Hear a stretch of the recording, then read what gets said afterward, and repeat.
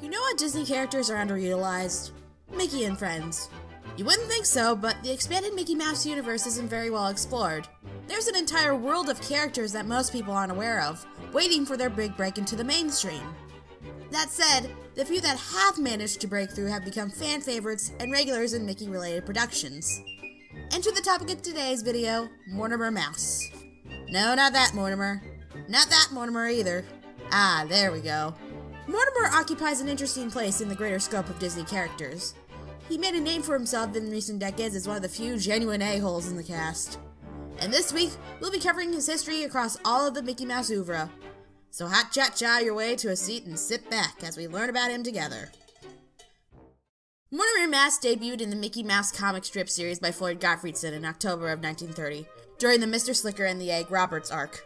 To make a long story short, Minnie's father is in trouble and Mr. Slicker offers to help in return for his daughter's hand. In the end, it's revealed that it was all a trick, and Slicker was behind it all. He became regular in the strips, always trying to get the upper hand on Mickey and steal Minnie away from him. The Mr. Slicker moniker was later dropped, and he was called Montmorency Rodent, and finally, Mortimer Rodent. While Pete was still his nemesis, Mortimer was that one jerk who always knew just what to do to get under his skin. The character went through a few designs over the course of the comic's lifetime. His initial design mimicked the classic 20s 30s designs of Mickey and Minnie. He had oval eyes with black pupils, not too dissimilar to Mickey in Plane Crazy. He usually wore a hat, bell-bottom pants, a necktie, and carried a cane. He also sported whiskers and buck teeth. When he was reintroduced as Montmorency, his design mimicked the later animated ones, with smaller eyes similar to Mickey's Fred Moore design. This became the standard Mortimer look for all of his future appearances. It's a well-known piece of trivia that Mickey was originally going to be called Mortimer. Walt's wife Lillian thought that name was too haughty and encouraged him to go with a different name. To what extent this influences Mortimer's nomenclature is unknown, but it does lead to an interesting contrast. Mickey is shy and small, while Mortimer is tall and boastful. In fact, with his long nose, teeth, and whiskers, Mortimer doesn't resemble a mouse as much as he does a rat. What was that? Back on track, Mortimer made his animated debut in 1936's Mickey's Rival, introducing him to a wider audience. In this cartoon, he crashes Mickey and Minnie's picnic, taking Minnie's attention much to Mickey's chagrin. It seemed like he had the upper hand. He's charming and charismatic with a good sense of humor. But at the first sign of danger, he bolts, leaving Minnie behind. Mickey comes to her rescue and Minnie is reminded of what really matters. A little aside because I found it interesting. This short appeared in the live-action series Sing Me a Story with Belle, an educational program hosted by Belle from Beauty and the Beast. It was accompanied by a new song that related to the episode's moral. The moral of this episode being, of course, it's what's inside that counts. Belle compares Mortimer to the episode's special guest star, Gaston, who shows just a stunning amount of self-awareness over it. Mortimer was exactly like you. He was really Charming? so- no, he was so Witty? No, he was Handsome? so full of himself that all he could really see was himself. Really? Let me continue. Despite his prominence in print, Mortimer wouldn't make his next animated appearance for another 60 years. He had a small role in 1999's Mickey's Once Upon a Christmas in the Gift of the Magi segment. His role is very different from his usual one of Mickey's rival. Here, he plays the stingy boss of a department store that Minnie worked at, kicking off her arc in the story. Instead of a holiday bonus, he gives her a fruitcake. Though it was brief, it must have left an impact because it was the start of the Mortimer Renaissance. Oh boy! That same year, Mickey Mouse Works premiered at the Disney Channel. It was a return to form for many of the classic Disney animated characters, a series of shorts that put them into new, modern situations. Seriously, it's great. Mortimer made his debut in the episode Mickey's Rival Returns. While Mickey tries to relax on the beach, Mortimer shows up to make it hell. He challenged Mickey to a volleyball game, with the winner being able to ask Minnie out on a date. When Minnie found out, she was furious that Mickey thought she was a prize to be won. Though once Mortimer tries putting the moves on her, she's saved by Mickey and they go on their date after all. Mortimer became a regular in the series, always trying to compete with Mickey for Minnie's affections. It's implied that he's her ex-boyfriend, and though he claims to love her, he's still a selfish jerk. He's also pretty sexist, seeing Minnie as a prize and not caring for her agency. He also has a tendency to flirt with every other woman he sees, so you can guess why Minnie would break up with him. Still, he's crafty and sly, managing to manipulate everything around him to get Mickey in trouble. There's an episode where he manages to get him arrested under false pretenses. Of course, in the end, he always gets his cathartic comeuppance.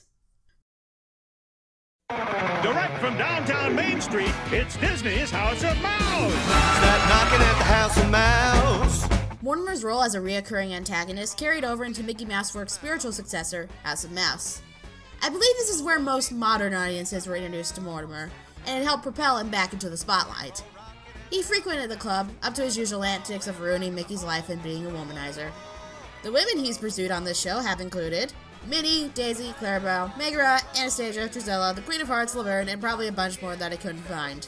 He often gets on the club patrons' nerves, to the point where not even the villains like him. Even Pete, the club's evil landlord, hates him.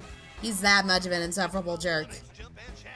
One notable episode involved Mortimer masquerading as a restaurant critic. He gets everyone to do his bidding, unless he gives them a negative review. It's like that episode of South Park where Cartman becomes a Yelp reviewer. Among his demands are playing more and more cartoons, forcing Minnie and Daisy to sit with him, and eating all of the shellfish, including Sebastian. Once it's revealed that it was a trick, Mickey hosts a roast to him, which everyone gets in on. I think that's beautiful. No matter if you're a villain or a princess, we can all come together to hate Mortimer Mouse. Mortimer made his CG animated debut in Mickey Mouse Clubhouse in the episode Super Adventure.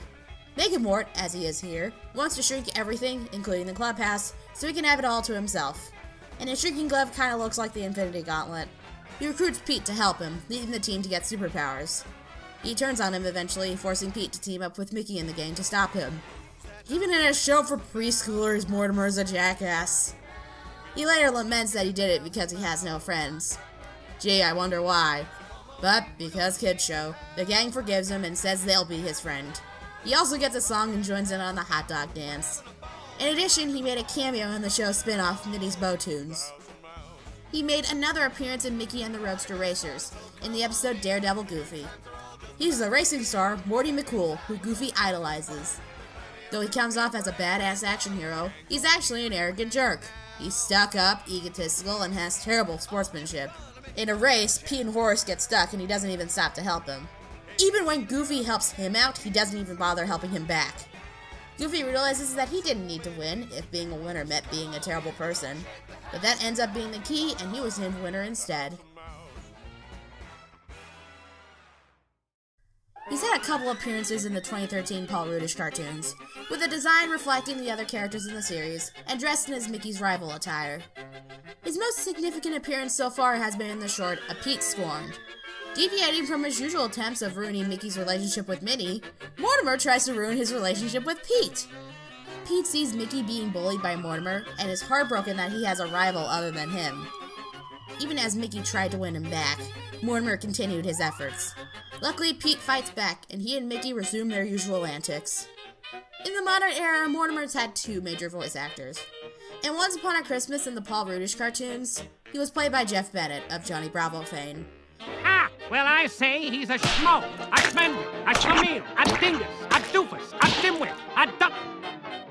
But in most of his appearances, he's played by voice acting legend Maurice LaMarche. LaMarche has been pretty consistently voicing Mortimer since Mickey Mouse Works. His performance is said to be an impression of comedian Jon Lovitz. Good idea, Mick. Finally, I'll get a chance to show your audience some real comedy. Oh, I didn't know they made a film of your last date. Oh, hardy har har.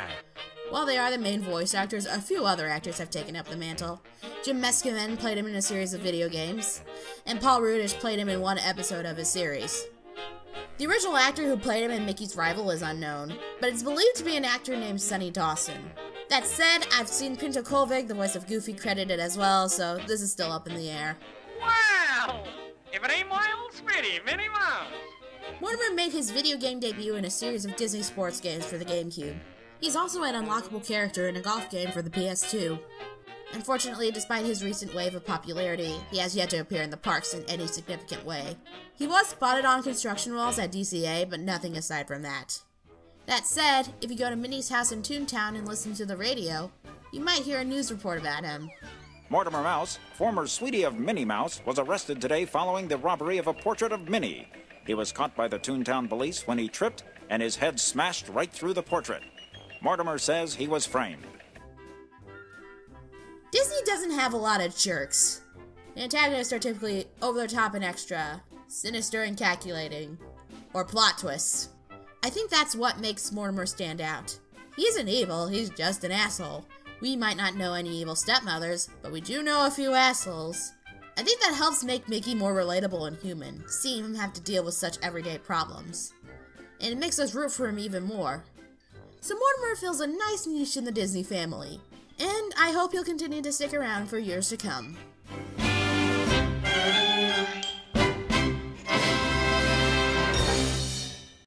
And that is everything you'd ever want to know about Mortimer Mouse. Now I'll pass the question off to you. What do you think of Mortimer? What's your favorite of his appearances? Is there anything you'd like to see done with him in the future? Whatever you're thinking, let me know down in the comments. But that's all the time I've got for today. Thank you so much for watching as always, and I will talk to you guys soon. Take care.